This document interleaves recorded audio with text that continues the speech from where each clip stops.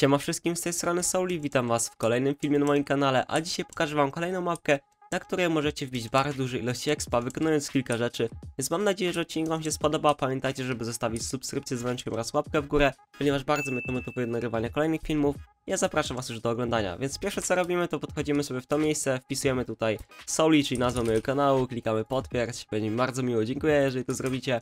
No i teraz możemy sobie podejść do tego portalu. Jeżeli sobie do niego wejdziemy, mamy po lewej stronie tutaj taki, mm, taką po prostu mapkę. Podchodzimy sobie tutaj i musimy zbudować 9 schodów do góry. I teraz 4. Raz, dwa, trzy, cztery. No jeżeli staniemy w tym miejscu, musimy zrobić sobie dowolną emotkę. I jak widzicie, ja już dostaję expa, ale ja nie dostanę go za dużo, ponieważ ja już zrobiłem wcześniej te glicze, ale jak widzicie, dostałem 15 tysięcy. I po prostu, jeżeli przestanie wam dawać expa, to co musicie zrobić, to klikamy sobie escape. Musimy tutaj sobie kliknąć, zakończamy sobie grę, bądź tam wychodzimy.